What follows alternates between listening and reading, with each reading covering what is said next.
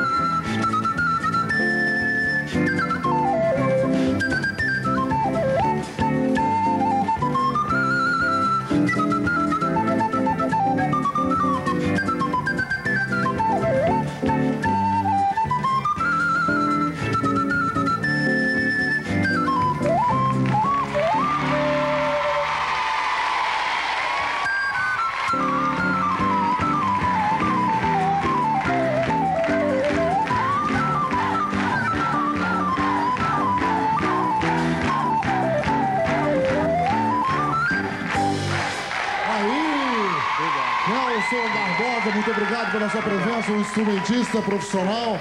Isso aqui, vamos saber, lógico, para analisar um quadro desse, tem que ser, tem que ser, pelas, é, ser, a análise tem que ser feita pelas pessoas que entendam de flauta. apresentação do Nelson Barbosa e principalmente do Leão Lobo, que falou que o rapaz esperava mais do rapaz. Não, o rapaz é excelente, sem sombra de dúvidas.